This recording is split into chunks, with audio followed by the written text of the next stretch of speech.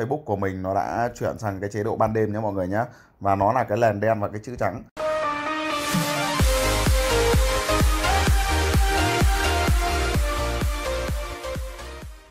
Hello xin chào tất cả mọi người nhé. Chào mừng mọi người quay trở lại với cả video chia sẻ tiếp theo của mình.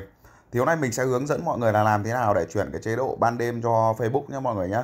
Người ta gọi là chuyển cái chế độ tối đấy. Đấy, ví dụ như mình vào Facebook này mà các bạn à, lướt Facebook đêm như mình đấy thì rất chi là đau mắt đúng không mọi người? Đấy nó sáng quá. Rồi ok. Thì việc đầu tiên các bạn à, sẽ vào cái CH Play này cho mình nhé và các bạn à, gõ đến cái từ khóa là Facebook cho mình. Rồi ok. Thì uh, tránh cái trường hợp là chúng ta sẽ không cài đặt được đấy.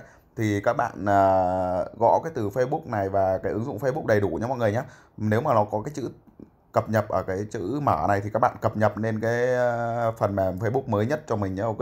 Thì ở đây mình đã cập nhật rồi đó chúng ta sẽ vào Facebook. Rồi ok.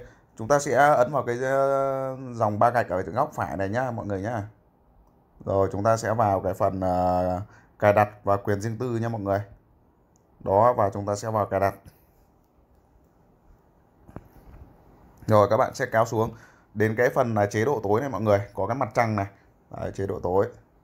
Rồi chúng ta chỉ cần bật cái chế độ tối này thôi đó vậy là cái uh, giao diện Facebook của mình nó đã chuyển sang cái chế độ ban đêm nhé mọi người nhé. Và nó là cái nền đen và cái chữ trắng. Cái nền này thì mình uh, dùng cảm giác nó rất chi là dịu mắt nó không như cái nền uh, ờ, cũ nhé mọi người nhé. Đấy thì nó cũng giúp cho chúng ta làm sao uh, tránh bị đau mắt hay là mỏi mắt à, và các bạn xem Facebook nhiều hay lướt Facebook ban đêm nhiều có khi là có có thể là chúng ta sẽ bị cận đấy Đấy thì um, hôm nay mình chia sẻ cho mọi người là cách bật uh, chế độ tối trên Facebook nhé mọi người nhé. Thì mọi người thấy video của mình hay và ích thì cho mình uh, một like một đăng ký nhé và chia sẻ video này để cho mọi người cùng biết cách làm nhé mọi người. Đấy, còn bây giờ mình xin khép lại cái video chia sẻ tại đây. Xin chào tất cả mọi người nhé. Hẹn gặp lại mọi người trong những cái video chia sẻ tiếp theo nhé mọi người nhé.